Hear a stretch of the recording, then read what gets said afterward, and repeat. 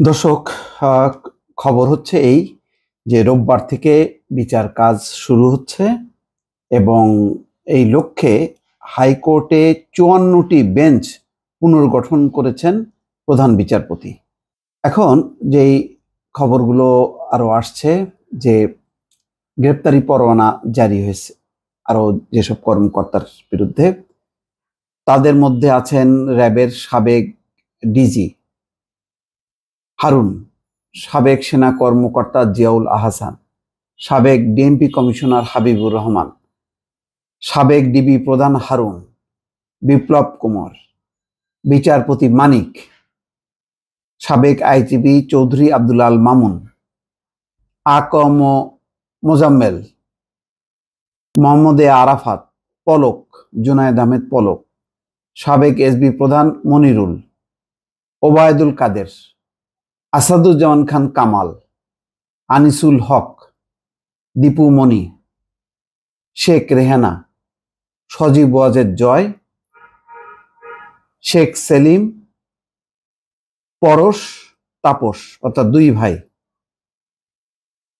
শেখ হাসিনা ছাড়া এদের বিরুদ্ধেও গ্রেপ্তারি পরোয়ানা জারি করা হয়েছে। মোটামুটি তাদের অল্প সংখ্যকই কারাগারে আছে, বাকিরা সব পলাতক অবস্থায় আছে।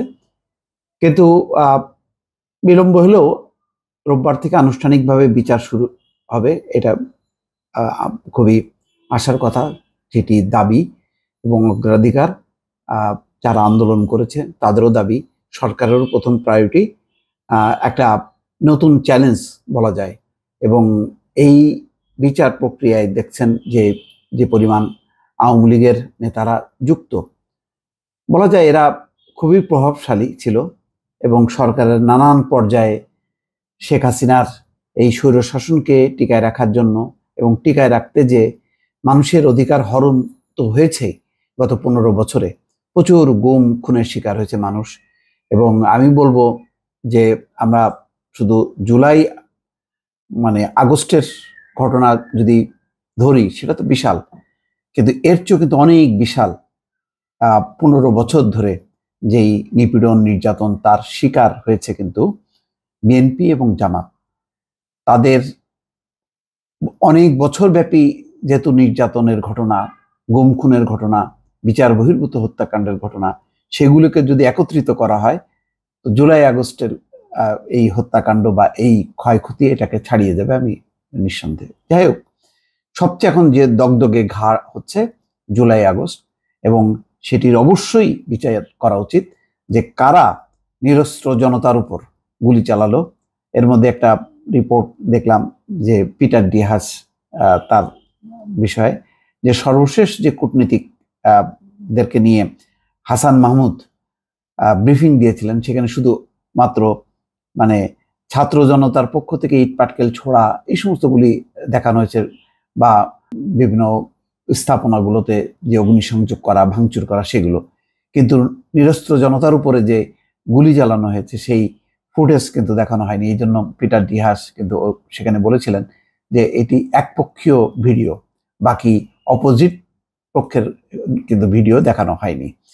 যাই হোক, এখন এই বিষয়গুলো অতি এখন বাস্তব হচ্ছে, সামনে বিচার এবং এই বিচারের মধ্য দিয়ে আওয়ামী লীগ নামক রাজনৈতিক দলটির আসলে অন্য একটা চেহারা, অন্য একটা যেই নির্মমতা, অনেকটা নাৎসি বাহিনী যে ধরনের নির্মমতা চালিয়েছিল একসময় জার্মান সহ ইউরোপে, সেরকমই একটি চিত্র উঠে আসবে এবং রাজনৈতিক মৃত্যু হবে এই বিচার এবং তার রায়ের মধ্য দিয়ে।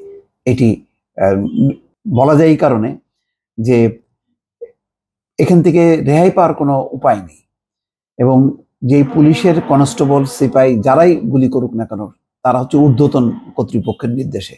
সেই ঊর্ধ্বতন কর্তৃপক্ষ কারা? সবাই একযোগে বলছে যে এটা রাজনৈতিক কর্তৃপক্ষের সিদ্ধান্ত, তারা এটা বাস্তবায়ন করেছে। সিদ্ধান্ত কাদের? রাজনৈতিক নেতৃত্বের। সেই রাজনৈতিক নেতৃত্বের জায়গায় কিন্তু শেখ হাসিনা সহ এই মন্ত্রিসভার প্রভাবশালীরা মানে বসে আছেন। তারা নির্দেশনা দিয়েছেন পুলিশের কর্মকর্তাদেরকে। পুলিশের কর্মকর্তারা মাঠ পর্যায়ে নির্দেশনা দিয়েছেন। সুতরাং এই তিনটা স্তরের সবাই আসলে জড়িত এবং বিচারটা সেভাবেই হবে, সেই আলোকেই হবে, এটা নিশ্চিত থাকা যায়। সুতরাং এই কঠিন বিচারের পর আসলে আওয়ামী লীগ কোথায় গিয়ে দাঁড়াবে? তার রাজনৈতিক মৃত্যু হবে নাকি আবার পুনর্জন্ম হবে সেইটি বোঝা যাবে। রোববার থেকে যখন বিচার হবে, সেই বিচারের কত সময় নেবে যাই না। নিশ্চয়ই যেহেতু স্পেশাল ট্রাইব্যুনাল টাইপের এই আদালত তারা দ্রুতই বিচার করবে, বিচার করার মধ্য দিয়ে তারা একটা যুগান্তকারী রায় দেবে, সেটি নিশ্চয়ই প্রত্যাশা করা যায় দর্শক। ভালো থাকবেন, আল্লাহ হাফেজ।